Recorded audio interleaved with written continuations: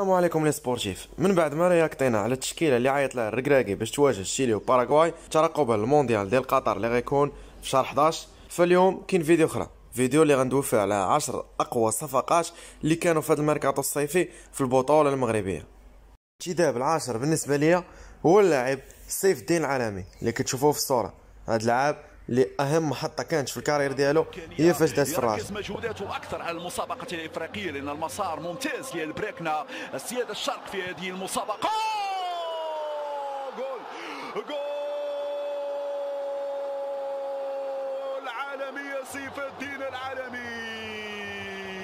عالمي لسينا في الصيف مع حسنية أكادي بعد قدوم مدرب باكيتا. وتاسع صفقة هي اللاعب الأسطورة محمود بن حليم اللي هو كان في فريق الرجاء الرياضي بعض المناسبات قوة الجانب البدني تونغار يمكن يكون آه، صانع ألعاب رفيع كرة كرة رفيعة رفيعة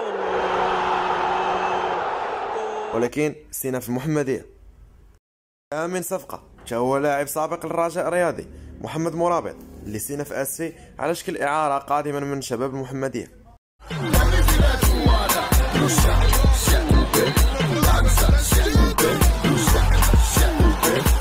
سابع صفقة بالنسبة لي في هذا الميركاتو كانت الفريق الوداد الرياضي اللي استناو مع أرسن زولا من شباب المحمدية.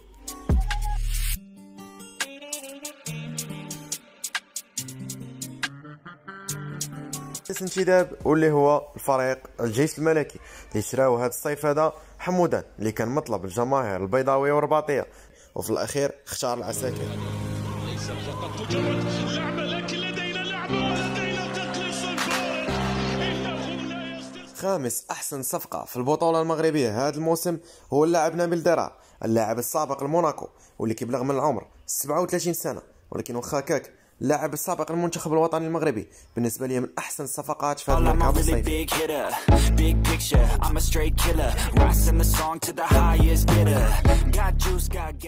رابع أحسن صفقة هذه المرة. وهو وليد الصبار اللاعب المنتقل حديثا لفريق الأم رجاء رياضي. من بعد ما جا البدراوي كان مطلب أساسي من الجماهير الرجاوية. وهو اليوم سينا في الفريق ديال الأم.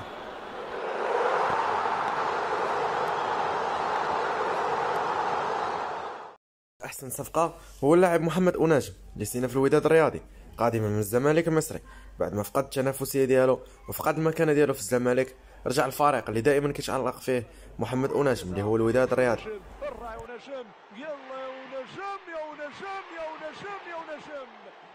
صفقة هو اللاعب الجزائري حسام بالعيادة اللي سينا في الوداد واللي ما كانش عنده عقد لاعب كبير وشفناه أمام منتخب محلي في كأس العرب الأخيرة مستوى اللي ظهر به Wait up. I've been working hard every day, living dreams for a pay stub. Yeah, straight up. Five years later, like I said, I would make it on my way up. It's all up.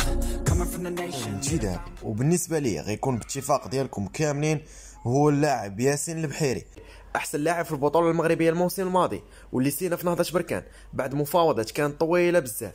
اللاعب اللي كان قريب من الرجا ومن الوداد وناض عليه الصداع بزاف ما بين هوار والبدراوي ودخل فيها حتى الناصيري المهم كانت روينة في الكوزينة وفي الأخر سينا في نهضة بركان ودار شمس العشيه البدراوي. اللاعب اللي بالنسبة لي أحسن انتداب في هذا الميركاتو وبالاتفاق ديال كلشي. Things I write, and all of you know it's been no easy road. But I keep working harder something. Learning that I can't do shit for weeks. Guess I proved nothing. Every